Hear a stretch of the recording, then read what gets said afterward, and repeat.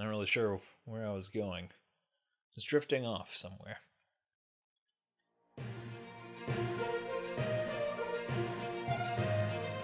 Hey everyone, welcome back to Medium Monday. Ron Fartley here with you for another medium sauce. We're taking a look at a small batch maker uh, somewhere in or around the United States and taking a look at one of their medium sauces. So today we have one that starts to range up into the higher realm of medium sauces, but it is Zab's Datil Pepper Hot Sauce. So this is their original. They have another one that's a bit sweeter and a little less hot. Uh, but we'll be trying out the Zab's Datil Pepper Hot Sauce. So, as you can imagine, if uh, the sauce itself is called that, it's probably got datil peppers in it, and you'd be 100% right. So, well done so far on the uh, guest test.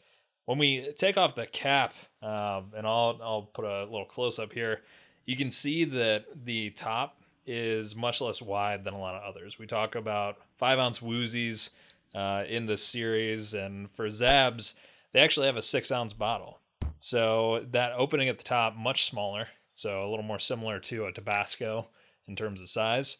Uh, but I'll go ahead and try the sauce and then we can talk a bit about it.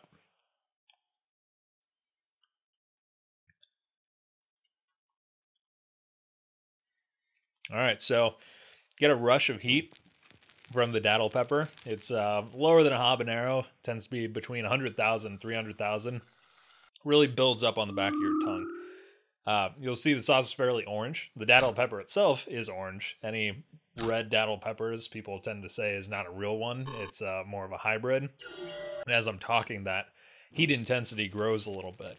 Not overwhelming. Uh, I think the turmeric and the carrots that are in here really play well with that heat and start to tone it down a little bit. So turmeric very bright in terms of color and helps out with this orange. So orange carrots, orange datil peppers, turmeric, you're gonna get a fairly orange sauce.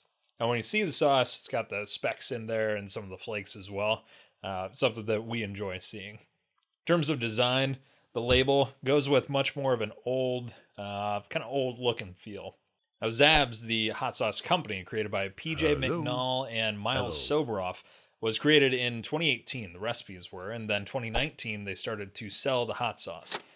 Now, the datil pepper is a favorite and really kind of a, a proud thing for the city of St. Augustine in Florida.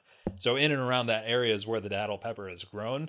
Zab's is actually located in Los Angeles. So, in California, they have all of the datil peppers shipped from St. Augustine and have decided to keep the home out there fell in love with it during a work trip in 2014 and said, "Hey, we're going to do our best to kind of make a uh, an homage, if you will, to the datil pepper sauces of Florida."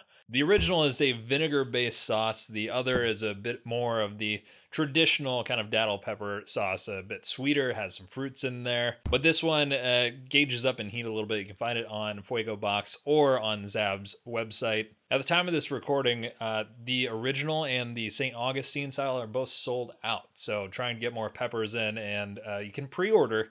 Each one is $12, and you can get that uh, ready to go for when they actually have stock again. As with many sauce makers, Zabs is still doing everything themselves. They started off doing recipes late at night with friends, and now they're moving on into larger kitchens, had shared kitchens previously, and continuing to move on up in the hot sauce world. Turmeric, datil peppers, vinegar, carrots. I mean, it's got everything you're looking for.